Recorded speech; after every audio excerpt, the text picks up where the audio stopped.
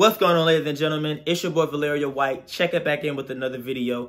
I go by V for short, and in this video, I will be going through the list of serverless services on AWS. All right, I'm going to explain them and give you a brief overview of what they are. All right, so make sure to hit that thumbs up down below, and let's get into the video.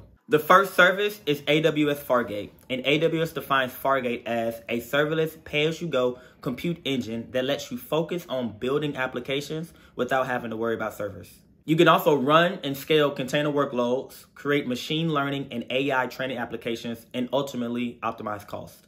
The second service is Amazon Event Bridge.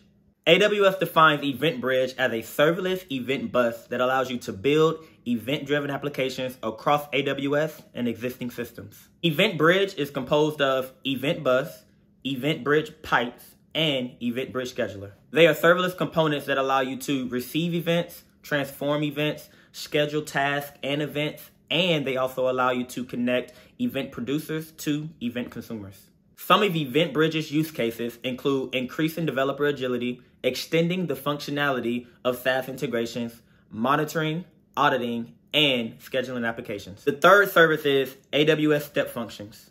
AWS defines step functions as a visual workflow orchestrator that makes it easy to sequence multiple AWS services into business critical applications. Some of step functions use cases include ETL processing, automating security and IT functions, and orchestrating microservices.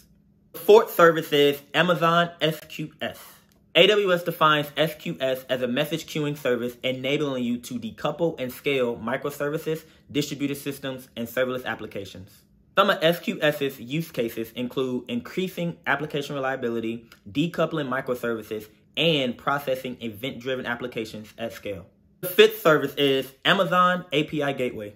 AWS defines API Gateway as a fully managed service that makes it easy to create and publish APIs at scale. Some of API Gateway's benefits include efficient API development, easy monitoring, RESTful API options, and performance at any scale. Sixth service is AWS AppSync. AWS defines AppSync as a fully managed service that accelerates application development with scalable GraphQL APIs. Some of AppSync's use cases include retrieving or modifying data from multiple data sources, synchronizing data if clients are disrupted, and building real-time collaboration and chat applications.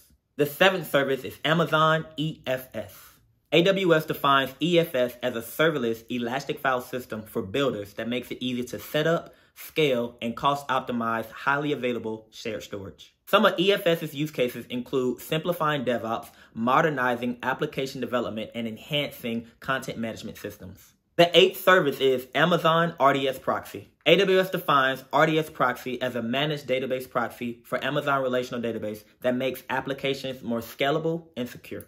Some of RDS Proxy's benefits include improved application performance increased application availability while also being fully compatible with your database. The ninth service is Amazon Aura Serverless. AWS defines Aura Serverless as a MySQL and a PostSQL relational compatible database that automatically scales based off your application needs. Some of Aura Serverless use cases include variable workloads, unpredictable workloads, and SaaS applications. The 10th service is Amazon Redshift Serverless. AWS defines Redshift Serverless as a service that makes it easy to run and scale analytics without you having to worry about your data warehouse infrastructure while only paying for what you use. Some of the benefits for Redshift Serverless is that you're able to gain insights from data in seconds. You're also able to experience consistent high performance as well as save costs so that you can stay on budget. The 11th service is Amazon Neptune Serverless. AWS defines Neptune Serverless as an on-demand, scalable graph database that automatically provides customers with enough capacity based on their application needs.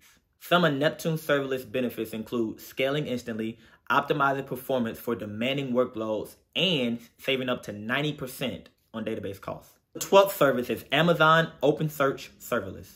AWS defines OpenSearch Serverless as a serverless option in Amazon OpenSearch Service, helping to deliver search and log analytics without having to provision or adjust resources. Some of the benefits of OpenSearch Serverless is that you're able to get started in seconds, scale on demand, and improve costs. The 13th service is probably one of the most popular serverless services that AWS has to offer, and that service is AWS Lambda. AWS defines Lambda as a serverless, event driven compute service that lets you run code for virtually any type of application or backend service without having to worry about managing servers or provisioning those servers. In addition to that, you can trigger Lambda from over 200 different AWS services and software as a service applications and only pay for what you use. Some of Lambda's use cases include processing data at scale, running interactive web and mobile backends, enabling powerful machine learning insights, and being able to create event driven applications. The 14th service is Amazon SNS. AWS defines SNS as a fully managed service for both application to application and application to person communication. Some of SNS's use cases include integrating your application with first in, first out messaging, securely encrypting your notification message delivery, and being able to capture your fan out events from over 60 different AWS services. The 15th service is another serverless service that Amazon provides that is widely used amongst its customers, and that service is Amazon S3. AWS defines Amazon S3 as an object storage service designed to pretty much store and protect any amount of data. With Amazon S3, you can store your data across multiple different S3 storage classes, which can essentially help you save costs.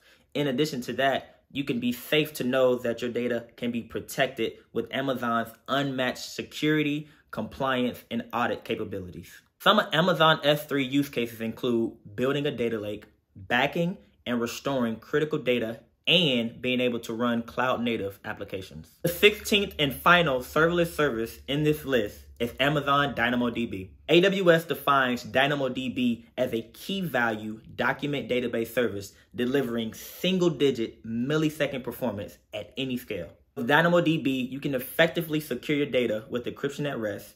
You can also automatically back up and restore your data and your guaranteed reliability with an SLA up to 99.999% availability. Some of DynamoDB's use cases include developing software application, creating media metadata stores, and scaling gaming platforms. That wraps it up, ladies and gentlemen. That concludes my list of serverless services that AWS provides on their platform. Okay. So feel free to leave a comment down below and just kind of leave me a comment. Let me know what you thought. Let me know if you ever use these services and let me know what you want to see next on this channel. Okay. Make sure to subscribe, leave that thumbs up. And this is your boy Valario. I'm checking out. I'm going to say peace and God bless. Oh, and one last thing. Don't forget to click on my channel and check out the other videos that I have on there. They could be of great value to you or maybe not. But check them out and see. All right. In the description box below, I have all my socials. So make sure to follow me there. And I'd love to connect. Y'all peace out.